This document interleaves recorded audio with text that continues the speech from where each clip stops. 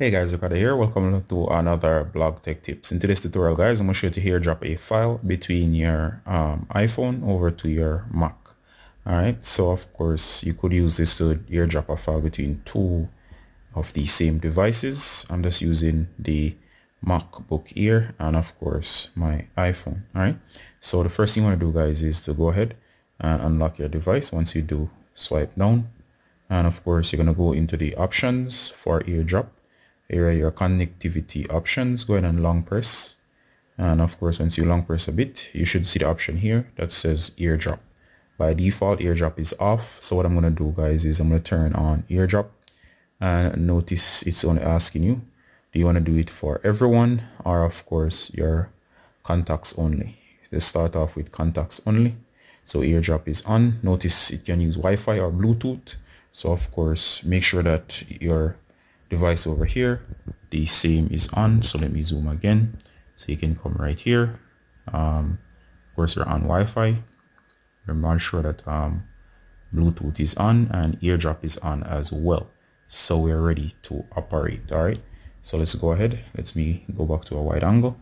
Now that we are sure that it's on what we're gonna do here guys I'm gonna just do a small recording. And there you go. So what I'm to do is I'm going to record my keyboard for a quick file. So let's go. So we're gonna record. And I'm just gonna keep talking and test test test. All right so it's not a big file so I'm gonna stop. And here it is. The file is right here. So I've I'm gonna go into gallery. Notice the file right here. You're gonna click on the uh, share option lower section with the arrow pointing up. Once I do guys. I'm then gonna look for the option that says airdrop so I'm gonna tap airdrop and as you can see guys it clearly detects my laptop. If it was a phone it would be the same. I'm going to select the device. Alright so there you go. It's saying airdrop from Ricardo was cancelled sorry. So let me go ahead and um, select. So it says waiting. Alright so it says waiting. And I'm gonna go ahead over here. Hit OK alright there you go guys it says receive from Ricardo. All right? iPhone so I can go ahead and hit open.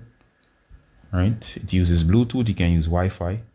And of course I'm just going to open up the file just to show you that airdrop work. And airdrop is a effective way of transferring files over pretty quickly. As you saw all you gotta do is tap once and leave. And of course the file will be uploaded. So let's see if I can find that file. The finder alright so once I'm in finder guys here you go. So I'm in finder and it's in download since I've downloaded this file. And of course I'm just gonna tap. There you go guys. Here's the file showing the keyboard recording.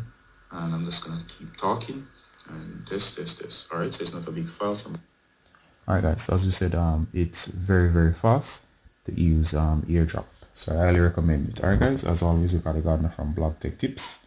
Saying bye until next time. Bye guys.